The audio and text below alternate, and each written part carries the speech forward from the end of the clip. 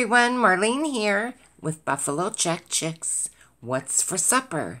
Tonight we're having homemade vegetable beef soup. So here I'm browning up about three pounds of stew beef. I have salted it and I have peppered it. And I did put some onion powder on it as well. Just a couple tablespoons of oil. So here it is lightly browned. You don't need to flour this because we're not making a stew. We don't want it to be thick like a stew. All right, so next I took about half a head of cabbage and I'm going to slice that up. Cabbage tastes wonderful in soup. So I'm going to add that along with two cans of diced tomatoes. Now you can use stewed tomatoes. I just used what I have on hand, and today it's diced tomatoes. So I've added the cabbage and the tomatoes to my meat mixture, and I'm going to give that a stir, and I'm going to add about nine cups of water to this. Like I say, I'm making a big pot of soup.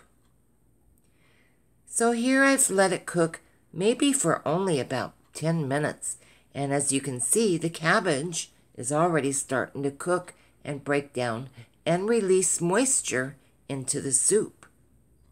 So I love this Bear Creek vegetable beef soup mix. I use it for seasoning. It's delicious. I only used one. Okay, so I poured it out so you can see what it looks like.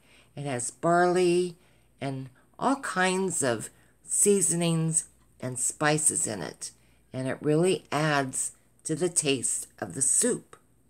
If you can't find that, you can use beef broth. So here I've added that mixture, and you can see the seasonings, and I'm going to let that cook.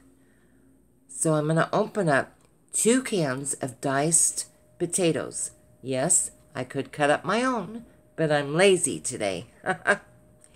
and I have two bags, I believe these are 12 ounces of frozen mixed vegetables.